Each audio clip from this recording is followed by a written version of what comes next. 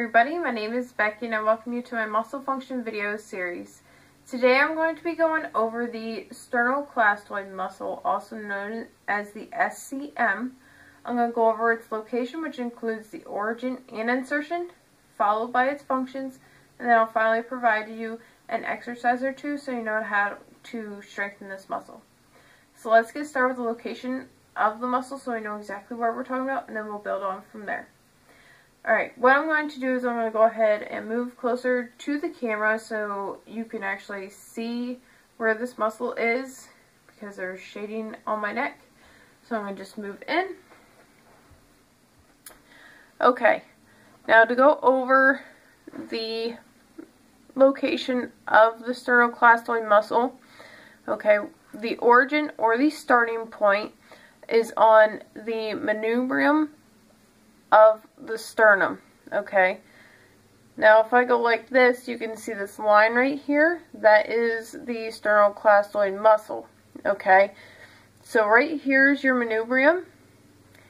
And then there's also a portion of this muscle that is originated on the anterior superior surface of your clavicle.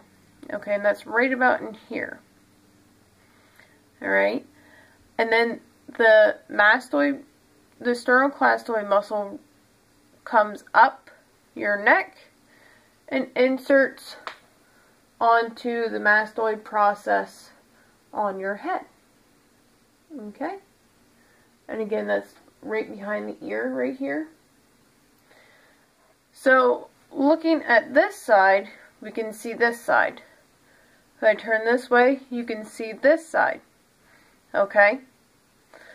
So now that you know where this muscle is on my body, I'm going to go ahead and show you an illustration.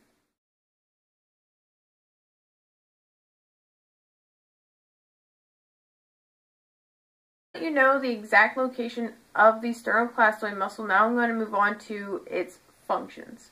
Okay, the functions of the sternocleidomastoid muscle are extension of the head, okay, and that is just to look up.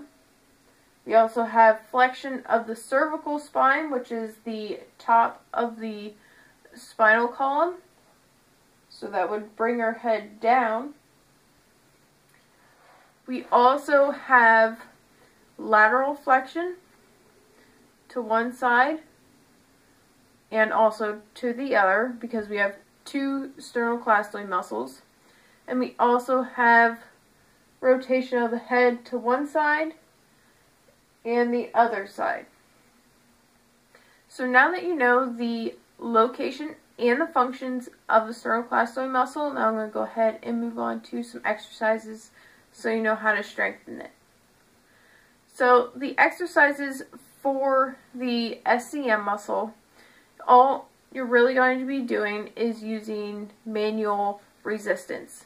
Now again, you can use the um, headpiece that you could attach to a cable and do these as well. That's completely up to you, but you really only need manual resistance due to the size of the muscle.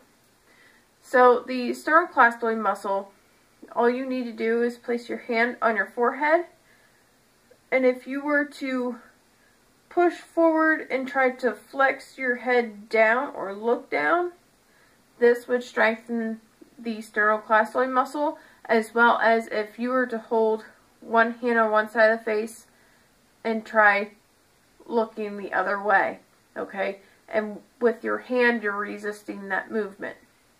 And the same goes for the other side.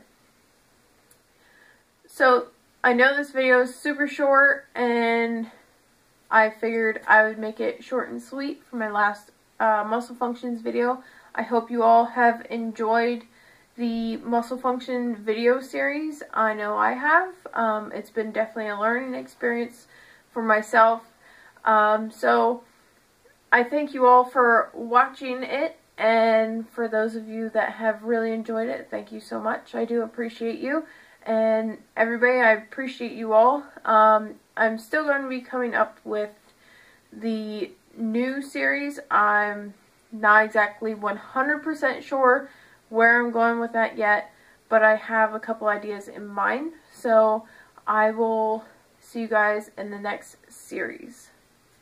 Have a great time and be productive and I wish you all well and I will see you the next series.